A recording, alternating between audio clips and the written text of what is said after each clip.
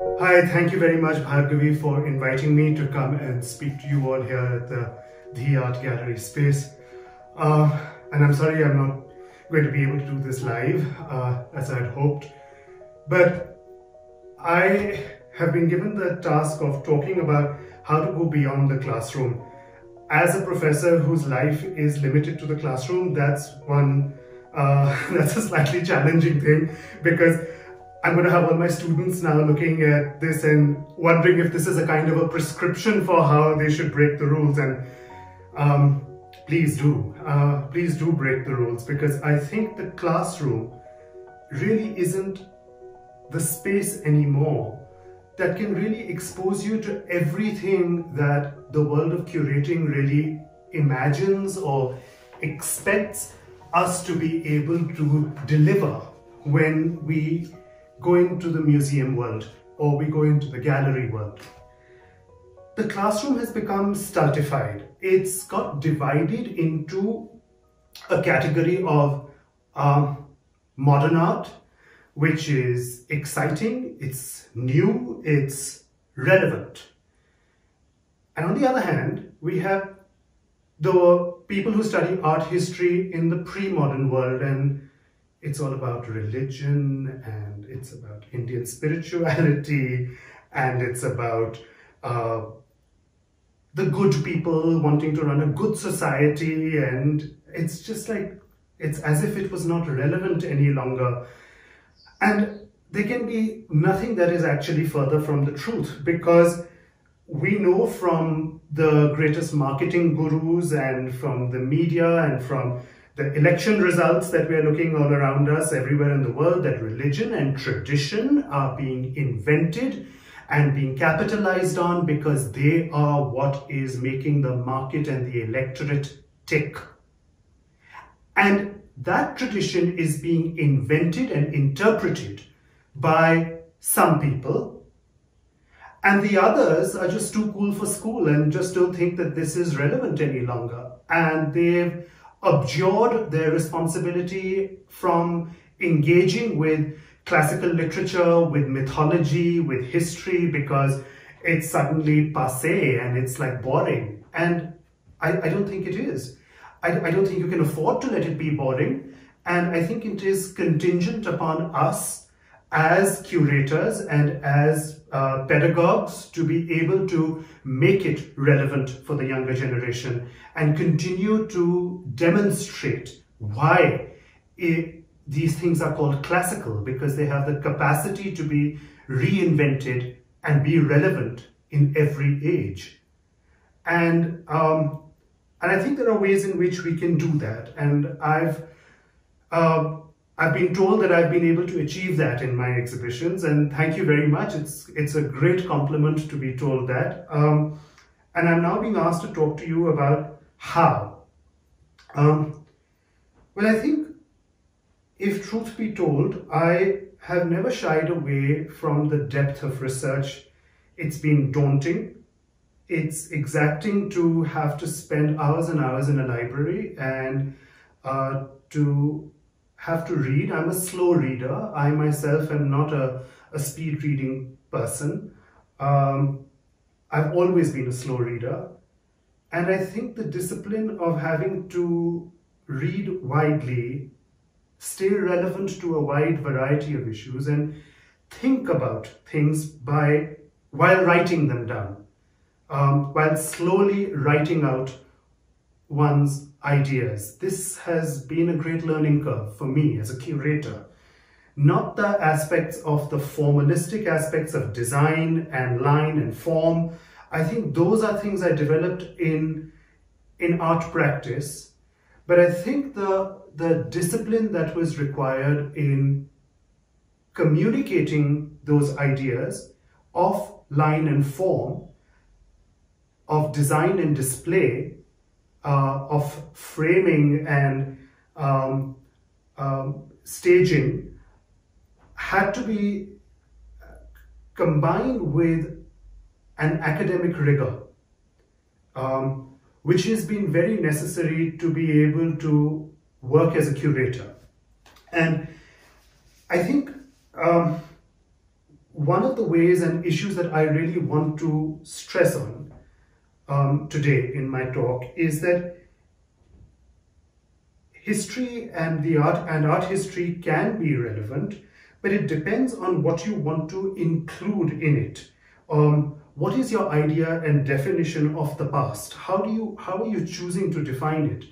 Are you wanting to study it from a political lens or from an administrative lens or an economic lens alone? Or are you willing to consider aspects of cultural history that are relevant to you and, and look at how those things have panned out in the past?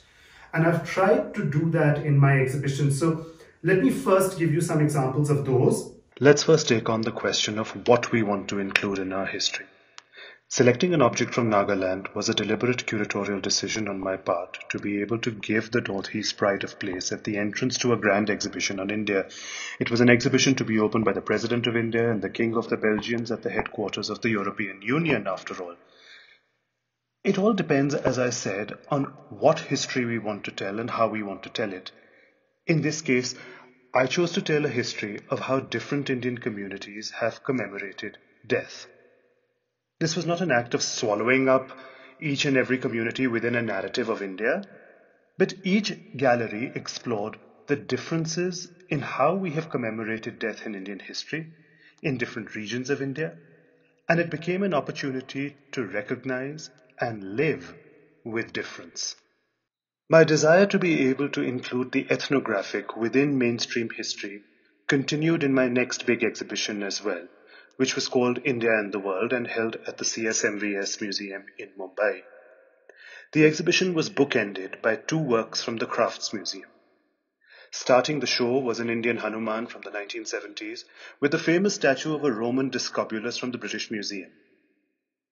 Both are symbols of strength and athleticism, and it was deliberately writing the ethnographic or the folk and tribal into the canon of art history.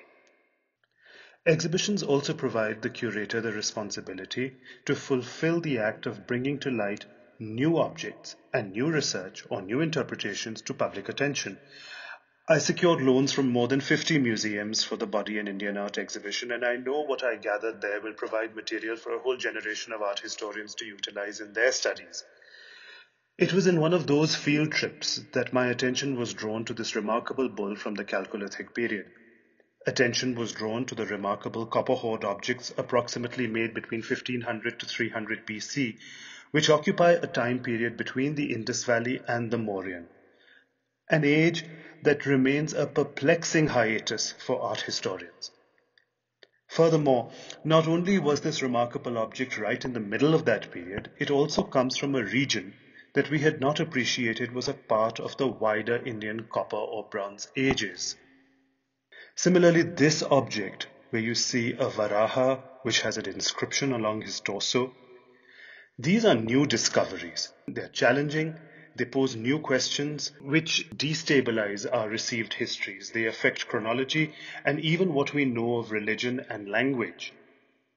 It posed questions about when does Hindu iconography begin? Does the Harappan age have a bearing on later Indian art?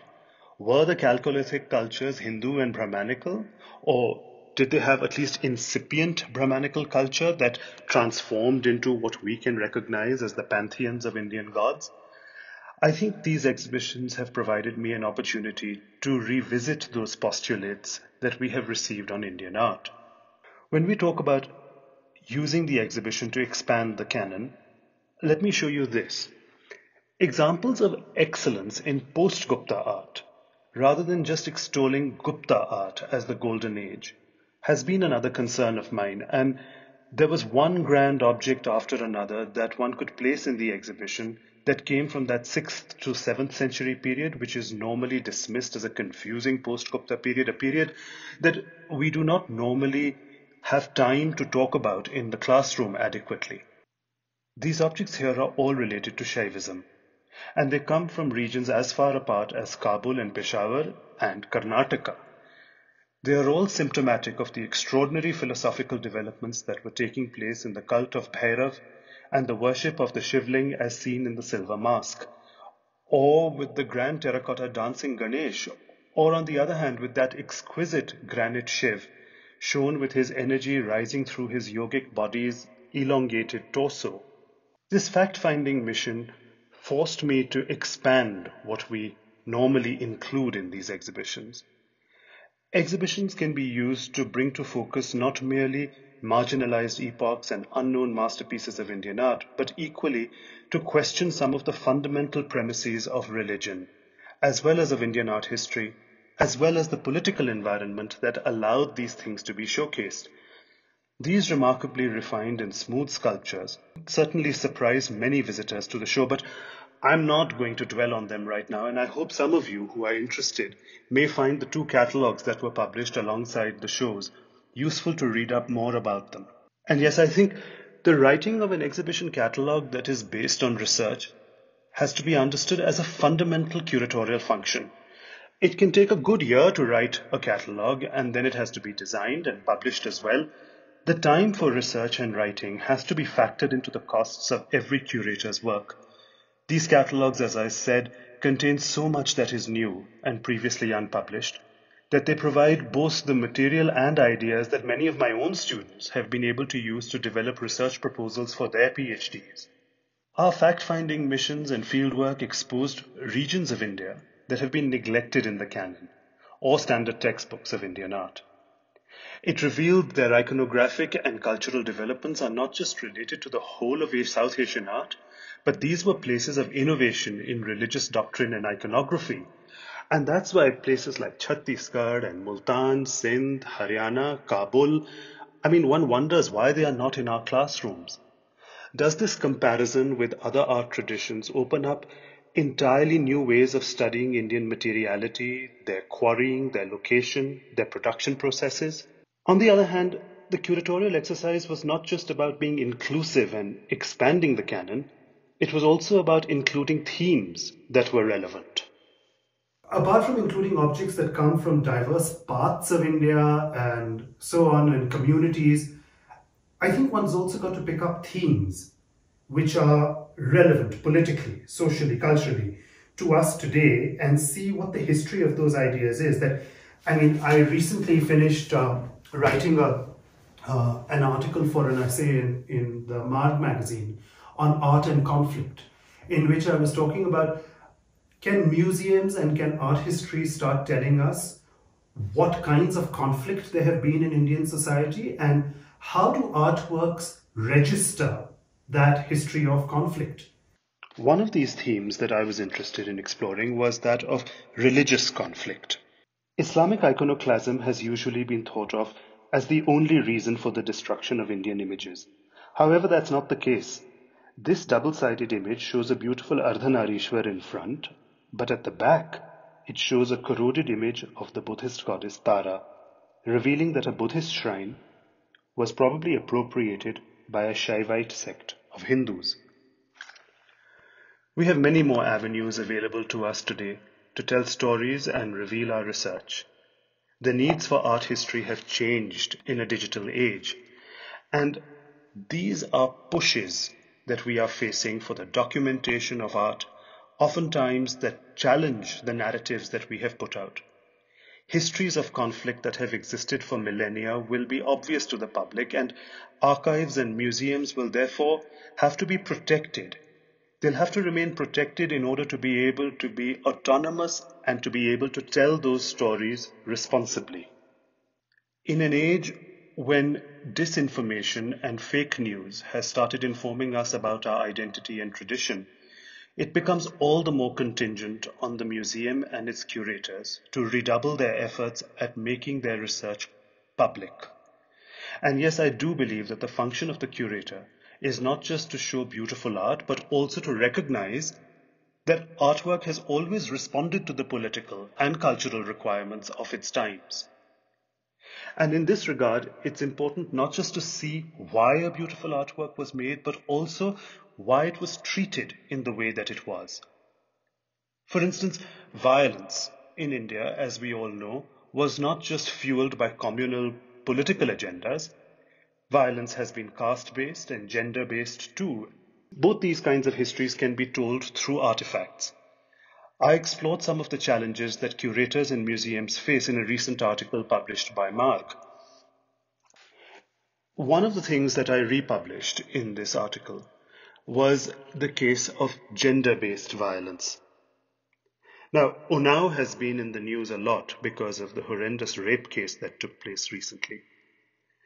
This is an ancient case where violence against a female sculpture was perpetrated, again at Unnao. Whereas ancient sources regard the Jain Tirthankara Mallinath as female by the 11th century, her gender had been changed to male. This happened with growing discomfiture in the Jain community on the subject of female nudity. And nudity was an essential requirement for a Tirthankar. So people began to believe that a woman was incapable of achieving moksha, and the only way she could aspire it was to be reborn as a man. The question that confronts us is what forces at Unnao perpetrated such violence on this statue of a female who dared to sit mindfully nude, brave and beautiful, with an exquisite plait falling down her upright back, with a single jasmine in her palm? There are grounds to believe that the image was removed from worship as much by patriarchal forces at Unnao as by iconoclasts who demanded its destruction. The third issue that I really want to talk about today, as a curator, is to come down to the subject of exhibition design. I think the exhibition design has become a very misunderstood subject. It's become like window dressing. And that's not what exhibition design is really about. It's not about making it look pretty. Curating is not about knowing the heights of objects and the framing devices of objects. You don't need a curator simply to do that. And you don't need an exhibition designer simply to do that either. You need to train exhibition designers in principles of architecture, but also they have to be receptive to and capable of working with the narratives of history that are relevant to us and think about how the scenography is actually going to communicate those political and social and cultural ideas without it necessarily becoming an artwork. Like, for instance, sometimes I've had to take recourse to design strategies in the ambience to be able to have a visceral effect on the audience in order to be able to communicate something when an artwork itself could not communicate that. So let me give you a, a few examples of how one has been able to use the idea of use scenography and work with exhibition designers to be able to uh, complement one's curatorial narrative. Exhibitions need not communicate their message only through the artifacts that they are using, but the curator has to be sensitive to and guide exhibition designers to be able to create a mise en scène or create a scenography that can help with that communication. In the India and the World exhibition, we were able to work with uh, Brinda Somaya and Nandini Sampat, who created a very immersive gallery space for one of the galleries called Indian Ocean Traders, where you can see that on the floor there is a cutout, a, a diagram of a ship. The idea was that we were entering a shipwreck, we were underwater. And these ships were carrying these Indian Ocean traders from place to place, and it is their artifacts that they transported from one location to another that the gallery was surrounded by. So a gallery can become a very immersive experience that carries the theme, the story forward. The Body in Indian Art in Brussels was an exhibition in which the designer Sabine Theunissen asked an artist, Anais Thies, to paint the entire backdrop of one of the galleries on the supernatural body as a paradisiac garden for which we were able to use Kangra paintings with their impossibly florid landscapes as the backdrop. The scenography thus provided an opportunity to move away from prefabricated display techniques which can be boring, but also bring in the work of contemporary artists to be able to create the immersive experience, the subliminal experience that we wanted to communicate. One of the nicest examples of that, um, of how scenography can tra- alter the mood and carry the message, was seen in the gallery called The Body Beyond the Limit of Form.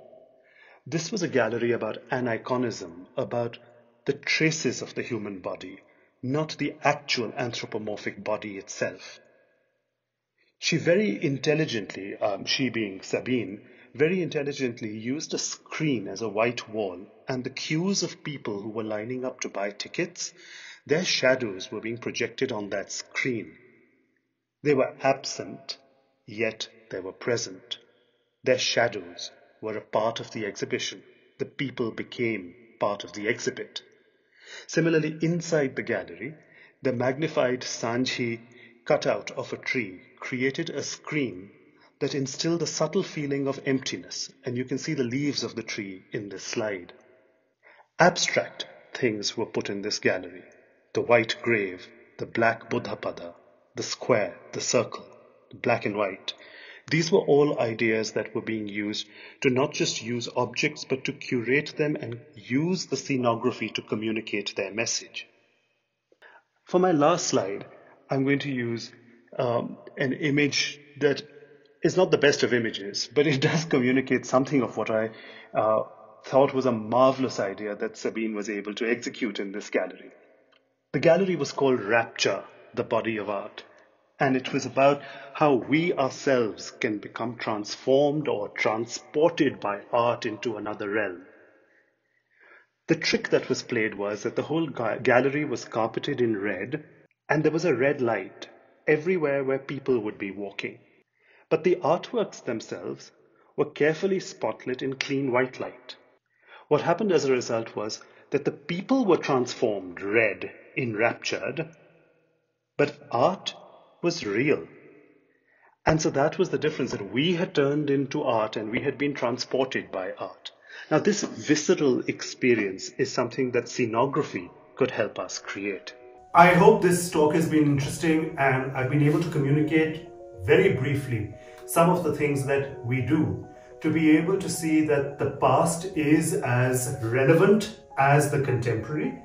It can be as exciting in its presentation without it turning gimmicky, but it can be subtle and yet communicate a profound point.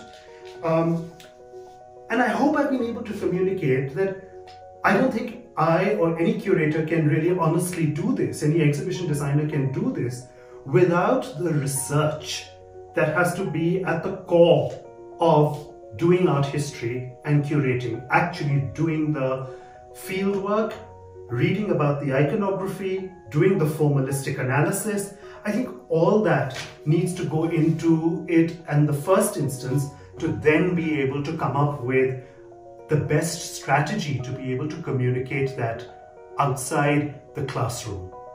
And I hope that'll get you all out of the classroom and to be able to experience these things in a in a multi-sensory way that combines architecture, design, line form, sketching, uh, art practice along with history. Thank you all very much for having me.